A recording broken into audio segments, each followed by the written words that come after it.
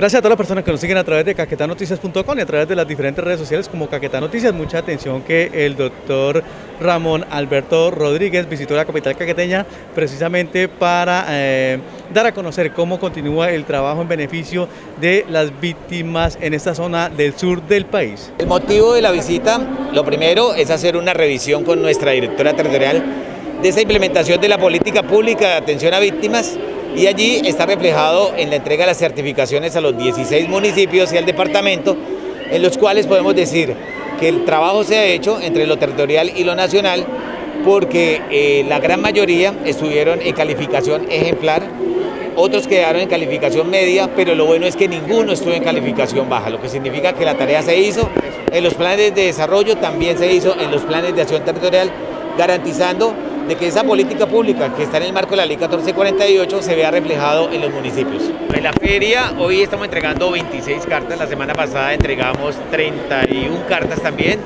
Son cartas que superan los 600 millones de pesos. Hay víctimas que les llegan dependiendo del hecho victimizante, de la época en que sucedió el hecho victimizante y de la conformación del núcleo familiar eh, hay víctimas que están recibiendo unos 10, otros 8. Ahorita acabo de ver una carta de las cuales entregué que estaba por 33 millones de pesos que les permite a las víctimas, lo primero, trabajar en un componente que se llama generación de ingresos.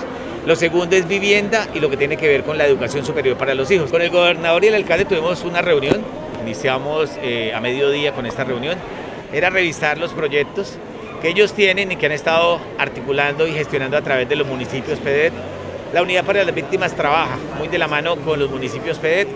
¿En qué sentido? Muchas iniciativas que están en los municipios PEDET se repiten en las solicitudes que tienen las víctimas a través de la reparación colectiva, a través de retornos y reubicaciones. Entonces estamos haciendo una revisión de qué proyectos se tienen allí, cómo los podemos articular y cómo podemos conseguir los recursos para que lleguen al territorio. El proceso de indemnizaciones sigue, es un compromiso del presidente Iván Duque de ser el presidente que más indemnizaciones haya hecho. En el 2000 20 logramos eh, llegar a 220 mil víctimas ya indemnizadas.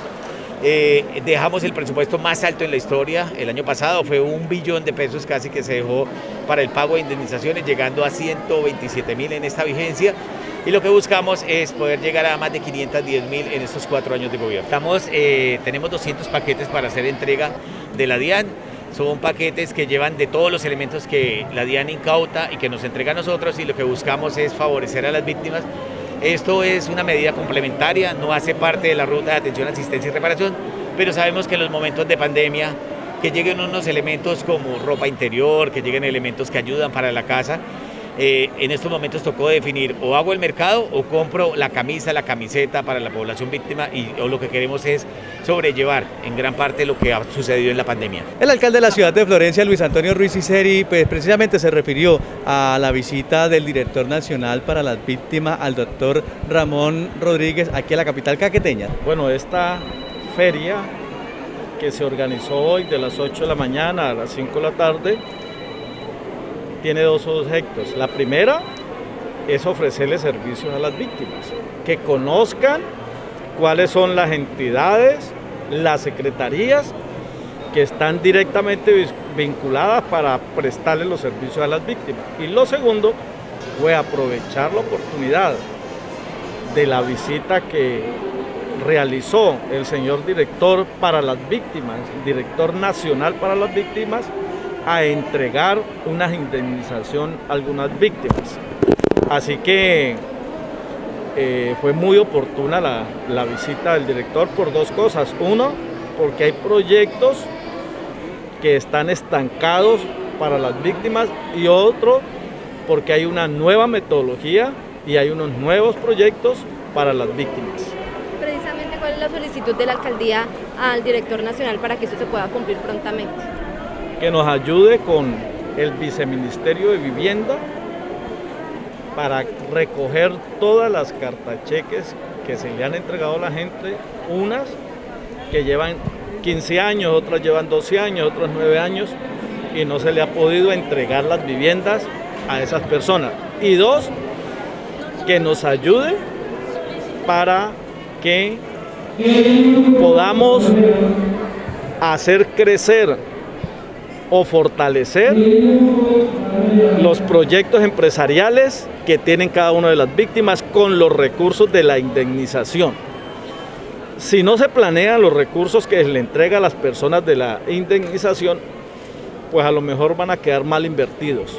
Pero si se planea y con esos recursos, más un esfuerzo que haga la alcaldía, la gobernación y la cooperación internacional, pues muy seguramente va a nacer o va a surgir alguna iniciativa empresarial que le va a permitir resolver un problema a la familia.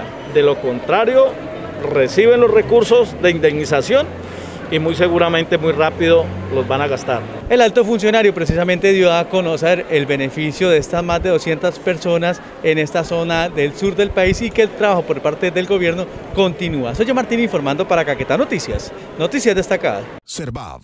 Trabajamos por el ambiente y nuestros usuarios y queremos que conozca el equipo humano que se esfuerza día y noche para que cada florenciano cuente en su hogar con el líquido vital diariamente. Representamos con orgullo nuestros principios corporativos, calidad, compromiso total, respeto por nuestros usuarios, responsabilidad social y ambiental. Servav, agua valiosa para la vida. Cuídala.